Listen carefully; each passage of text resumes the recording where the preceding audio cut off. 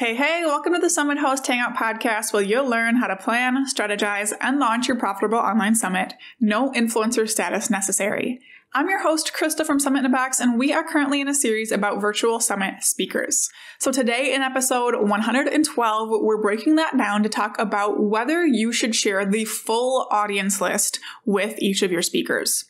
Honestly, I'm not convinced that there's a whole lot up for discussion here, so it'll be a short and sweet one today, but it's a question that I'm asked often enough that it warrants a quick episode. So let's start with just a little history of how this has looked with virtual summits. So back when summits first started, it was 100% standard to share the full attendee list with all of your speakers. So if they participated, if they spoke, they got the entire list, whether that was 200 people or 20,000 people. Um, and back then, it was actually like the biggest reason that a lot of speakers would decide to participate, like thousands of email addresses in exchange for a 30 minute presentation all right, I'll do that.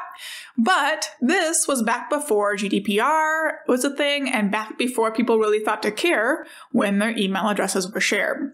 Times have changed, as I'm sure you know, and so has this strategy along with it. Which brings me to my answer to this question Should I share my full attendee list with summit speakers? No you should not. It is definitely not GDPR friendly in any way for someone to get added to 20 extra email lists after signing up for your event. And it's not a good experience for anyone as a whole. So even if you can find a way to make it perfectly compliant, it is not beneficial for you, for your attendees, or for your speakers.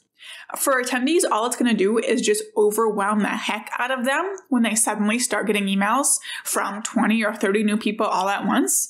That is not a good experience. They're not hearing from the people that they're actually interested in. And they're just going to get real quick to hit that unsubscribe button.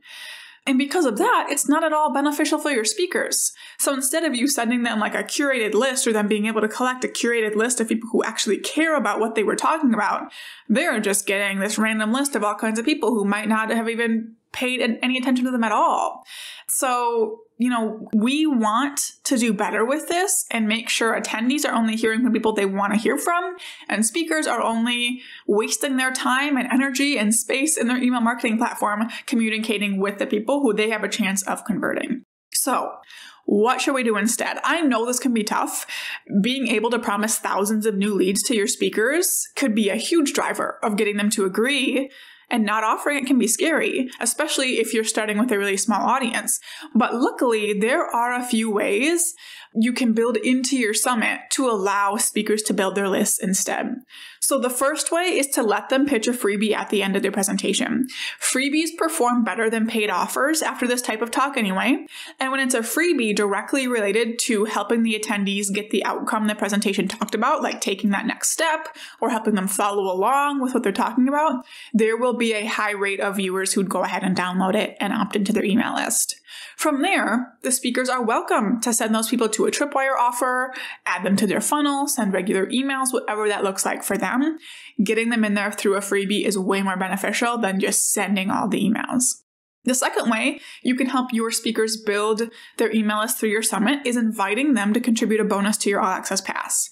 So not only will this help you create an incredible All Access Pass offer, but it's an easy way for speakers to get additional email addresses.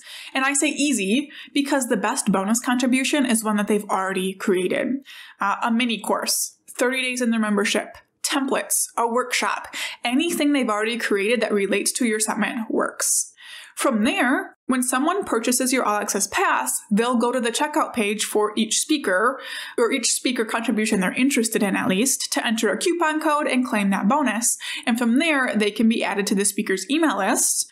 Hopefully, the speakers will be following the right policies, but from there, it's out of your hands. So that's another really powerful way speakers can build their lists. And you can learn more about how to get speakers to contribute a bonus to your All Access Pass in episode 70, which we will link in the show notes for you. So while we're no longer wanting to share the full attendee list with all of the speakers, there are still ways you can set your speakers up to get a nice pile of leads from speaking. So position it the right way to them, make the process easy, and you will still get an impressive yes rate from the people you pitch. Thank you so much for tuning into this episode. For show notes and resources mentioned, head to summithosthangout.com slash 112. In the next episode, we'll be chatting about how to be a good virtual summit speaker, so be sure to tune in for that. Like with anything, planning and hosting an online summit is a whole lot more fun when you're surrounded by other people who get it. For a community of other summit hosts who can be alongside you to celebrate wins, share advice, offer support, talk more about this topic, join us inside of the free Summit Host Hangout Facebook group. And you can head to summithosthangout.com slash community I cannot wait to see you inside. Now go out and take action to plan, strategize, and launch your profitable online summit.